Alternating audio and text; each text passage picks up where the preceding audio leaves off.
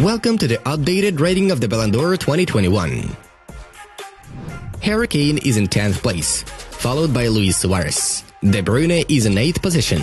Karim Benzema is 7th. Romelu Lukaku is in 6th position. Cristiano Ronaldo opens the top 5. Mbappe got dropped to 4th place as a result of a failed performance at the Euro. Lewandowski is on the 3rd place. Messi climbed to the second one due to his recent success at the Copa America, and N'Golo Kante retains the first place.